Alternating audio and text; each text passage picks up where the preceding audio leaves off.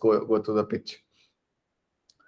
Headspin is a digital experience AI platform, right? Um, and everything that we do at Headspin is all real devices with real SIM cards. There's no jailbreaking, no rooting. So these are all plain vanilla Android and iOS devices sitting in different parts of the world, right? So there are four main pieces which constitute Headspin. So let's go through this quick uh, slide, which will kind of quickly summarize what we do at Headspin. So these are the four main pillars which constitute Headspin. First of all, global device infrastructure. So Headspin, we have um, presence in 65 plus countries and 100 plus locations globally. So these are all real devices with real SIM cards, um, non-jailbroken, non-rooted. And the most interesting thing is that there is no SDK required to access any of these devices. Second part is automation. So this whole platform was built for automation. And um, we support a whole bunch of open source automation frameworks. So this includes Appium, Selenium, Espresso, XCTest, and so on. And um, there are a whole bunch of REST APIs which are built into it to support this kind of seamless and smooth integration. And this is where the traditional device cloud stop, uh, right? And everything after here is all what Headspin is very different and unique compared to anything else in the market. So this is performance, uh, wherein uh, the same functional test that you're running now can start capturing a whole bunch of performance metrics, where you can start all the way from a user experience issue to go all the way up to uh, method level details and packets. So we'll see that in more detail in our uh, demo. So once you start capturing all these metrics for each and every test, now what do you do with that? So now you aggregate all the data and start visualizing with beautiful dashboards, wherein you can now start creating thresholds and getting and start getting alerts from on Slack, email, HipChat, anything that you're using, right? And this is how, um, um, if you go to one of our data center, this is how um, uh, the box will look like. It's called a P box or a proxy box or a phone box. And this is where all the secret sauce is, wherein uh, there's a custom Linux server or a Mac mini connected through a custom USB hub, and we just plug in all the devices here. And this tray goes into this box. And once you connect all the devices, everything else is controlled through a remote control uh, UI on the web. Uh, there are different ways in which you can access um, Headspin uh, which is on-prem, cloud, or you can use a combination of both on-prem or cloud. On-prem is when you host the box and um, is managed um, by, uh, by, by you um, in your office. And if we host the box and maintain it, the box for you, then it is uh, cloud. so from a product perspective, there's literally no difference. Uh, depends on just who is who is managing and uh, where is the box sitting. So that's kind of on a high level of what we uh, do at Headspin. Uh, let's jump into the demo itself. So once you uh, get access to the platform, depending on the locations and devices that you subscribe to, you'll see them in the account. Uh, so these are some of the locations and devices that I have in my account. Um, so let's say if I want to access a device in Delhi, I just click on this uh, flag. And now this is a real device, Samsung device that is sitting in uh, Delhi. And this is running a local SIM card, Airtel, and um, is running Android 10. Now, how do we access this device? Very simple. Just click on start and you get remote control access to this device in Delhi. Now, once you get remote control access, it's pretty much like a device that is there in your hand. You can interact with it remotely um, install apps from the Play Store, or you can upload pre-release builds through the UI, right? And uh, you can also bring these remote devices local to your laptop by just copy pasting the string on your terminal. Um, so this is an IP that you have built to, uh, it's called USB over IP to bring remote devices local to your laptop. And on the dashboard, this is where you pick up your automation config. Very simple, just chain. And um, one thing which is very worth mentioning here is that you can just change the WebDriver URL as long as you're using open source Appium. Just change the configuration and update the capabilities. Now you can start running all your automation scripts on Headspin very quickly. And the other interesting part is that uh, the co-founders of Appium, uh, Jonathan Lipps, uh, they're all Headspin employees, uh, and uh, we run a university along with Jonathan to teach people the best-in-class automation. And we're very, very tightly coupled with the community. So um, anything new that goes into Appium, so we also push it to the community. So that way you can say that uh, Headspin is an open platform, meaning you can write new scripts with Headspin and then take it and run it anywhere else. And you can bring the existing scripts um, and just change configuration and start running it on Headspin. So that way we are an open platform. Screenshots, uh, this is where you take screenshots, access to logs, file system, and then access to the hardware keys on the device. Another interesting thing is mini remote, uh, which is this is another key differentiator and a very loud feature among other customers uh, the reason this is interesting is um, cloud testing is kind of challenging, as we all know, right? On cloud devices, um, because someone has to get used to the um, the, mouse clicks compared to a touch and swipe. So what happens when you just scan this QR code is the entire screen gets mirrored onto my local device, and now all action, any action that I perform on my local phone gets translated onto this remote device. Right now, if you see my mouse pointer is on the right hand side. And now, as and when I'm doing any action on the remote on my local phone, they're getting translated onto the remote device. Pretty cool, right?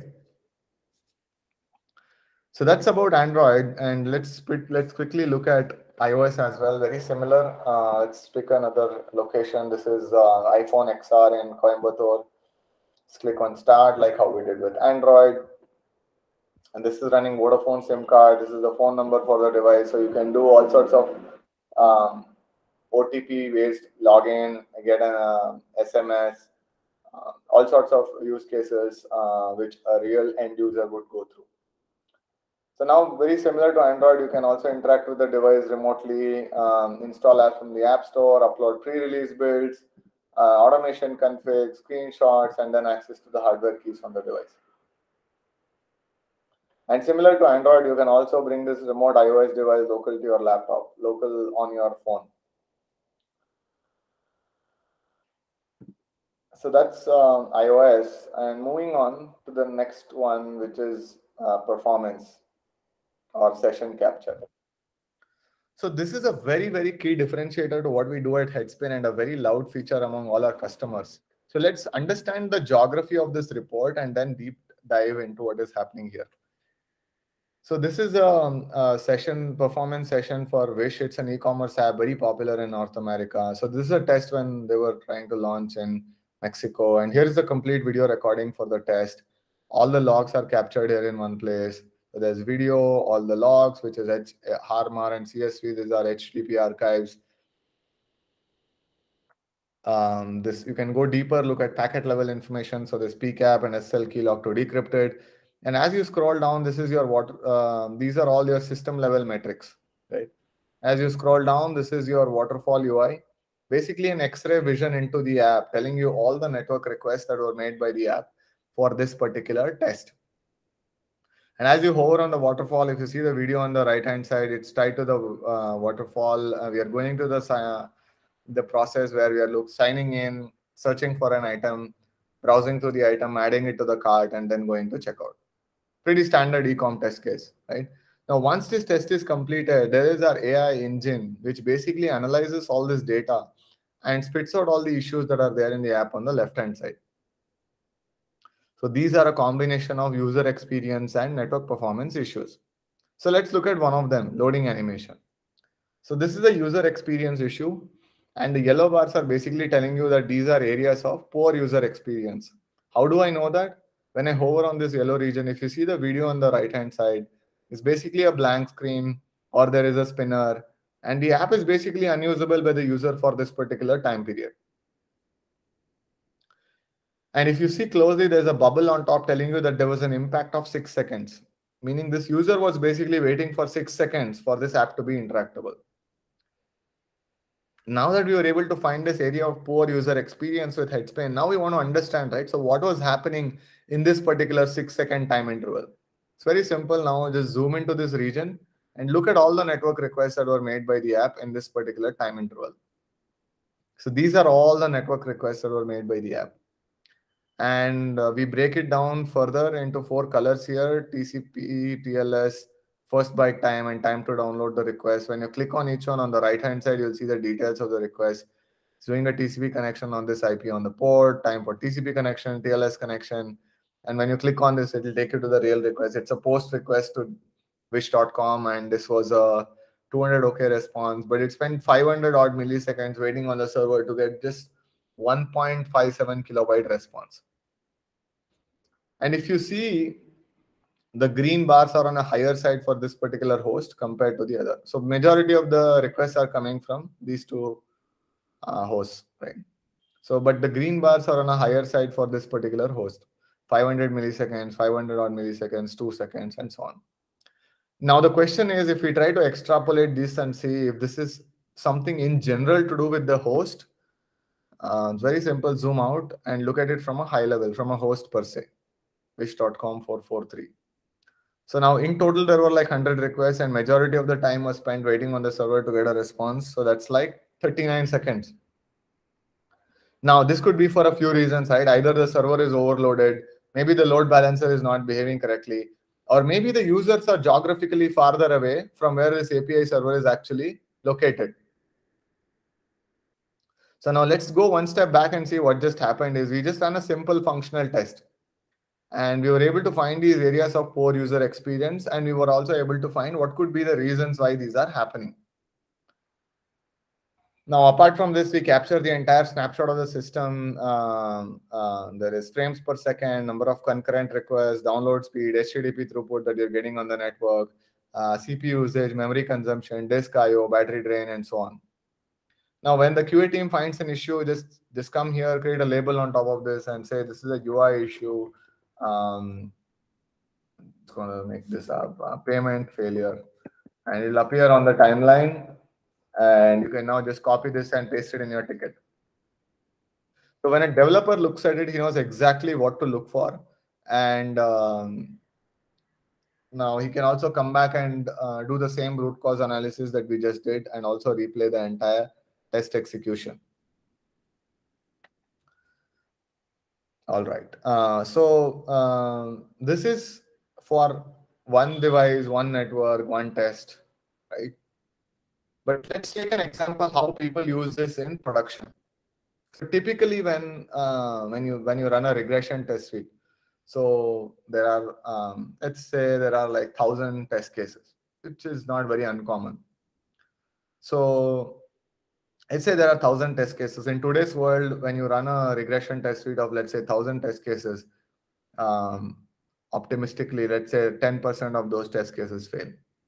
So uh, now there are 100 failures so what so based on that now what we are going to look at the qa team has to now look at sift through the logs correlate to the screenshots or maybe a video if you try using some of these other um, vendors that's about it right? Um, now fast forward let's say you're running you plug this into your ci pipeline uh, and now constantly there are you're running your regression. Every time there's a new code that is checked in 100 failures 100 failures they just keep adding up right? Already it was so cumbersome and now imagine what this happens when this when you plug this into a ci pipeline. Just totally goes out of control right? Now uh, we have heard from customers time and again that no one really looks at those failures because um, uh, it doesn't make sense because who is going to sift through the logs, correlate to the screenshots and the video and see what happened? Um, so it's not really ideal. Fast forward today to Headspin, what our customers do is they enable session capture or performance capture, which is a simple Appium or a Selenium capability. So once you do that, all these thousand tests will have performance sessions attached to it, which looks something like this.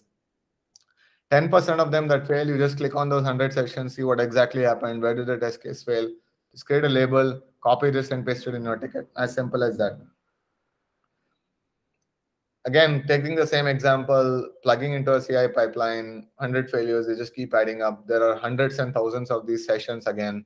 Doesn't make sense to look at each one of those sessions and the whole point of this uh, report is is lost so for that what we said is you know this data is so powerful what if we could create a data pipeline out of it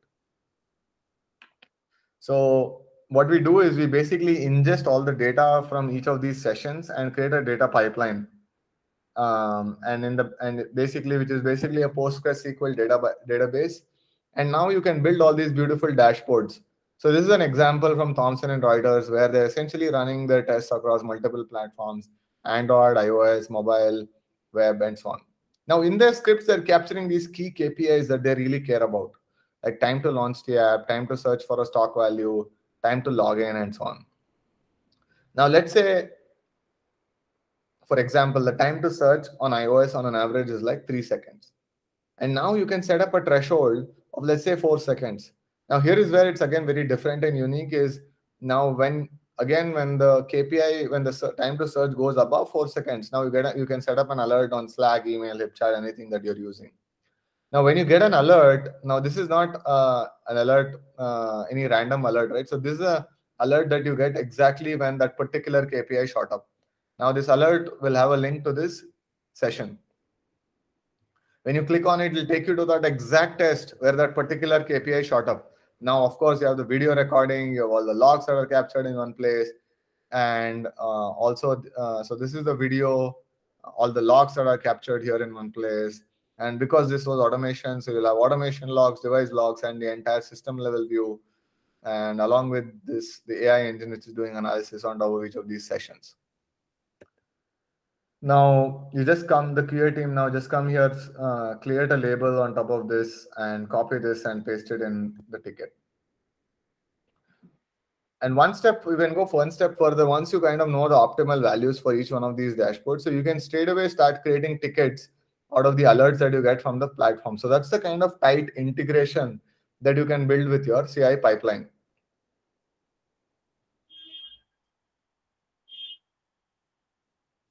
I think that's pretty much what I had. Uh,